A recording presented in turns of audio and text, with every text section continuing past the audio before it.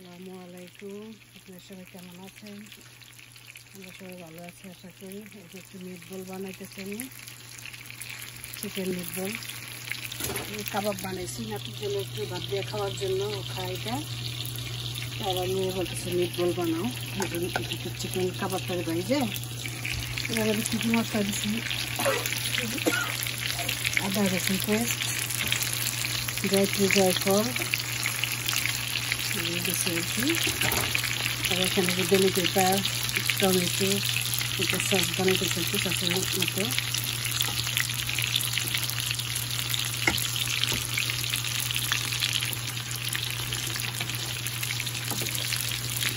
জলটা এটার মধ্যে দিয়ে দিব আর কি কষাইতেছি আগে একটু একটু বেশি থাকবে আর কি। এটা পোলাও খাওয়া যায় খাওয়া যায়, রুটি দিয়েও খাওয়া যায়। একদম তেল কম দিচ্ছি কারণ চিকেন থেকে উঠবে তো এবারে মিট বলগুলি বানাইতাম এটা ছেড়ে দিব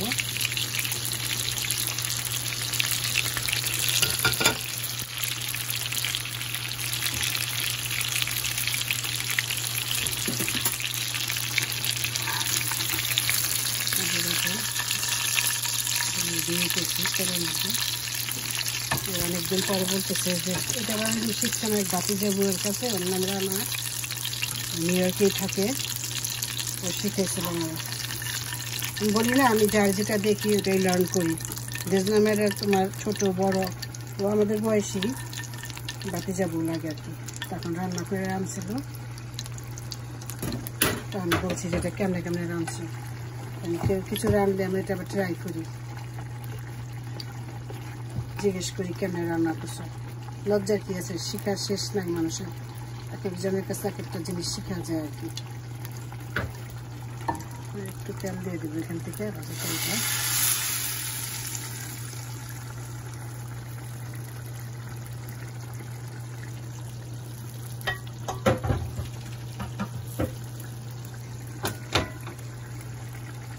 যে কাবাবটা বানিয়েছি জন্য।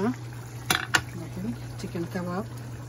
একদম, আমি পেঁয়াজ মোটা মোটা করে কেটে দিছি। কাঁচামরিচ, ধনিয়া পাতা, গোলমরিচ, আদা, রসুন পেস্ট, একটু ময়দাও দিছি একটু তেল, জয়ত্রী, জয়ফল, একটু সব মিশায় একদম হাতে ই করে কি কিমাটারে হাতে মাখায় তারপরে যে বানিয়েছি এটা রুটি ভাত দেখাবে আর কি। সবসময় তো না দেওয়া যায় না, ওই জন্য কাবাবটা বানাইলাম। আমি এটা বানাচ্ছি মেয়ের জন্য। বলতেছি আমি মিট বল বানাও খেতে ইচ্ছা করছে। অনেক দিন পর বানাইতেছেন অনেক বছর পর। কেন? অনেক সময় লোকজন না থাকলে যাওয়া আর কি। ভুলে যাই। আমার সমস্যা নেই। যখন যেটা বলব যে যেটা খাইতে চাই, আমি রান্না করে দিই। এটা আমার ছেলে বলতো, আম্মু, তুমি একটা রেস্টুরেন্ট খুলো। আগে বলতো তুমি অনেক রান্না করতে ভালোবাসো। লবণ দিতে ভুলে গেছি কথা কইতে। লবণই মজা লবণই রে মজা। এসব কাবাবে দেওয়া আছে। এই মিট বলটা আপনারা বানায় খায় দেখেন। পেঁয়াজ, কাঁচামরিচ, একটু ব্লেন্ডার করে দিচ্ছি জাল জাল খাইতে চাইছি টমেটো, বেলি পেপার, পেঁয়াজ সব ব্লেন্ডার করে একটু কষাইলাম কষাই মিট বলটা রয়েছে দিয়ে দিচ্ছি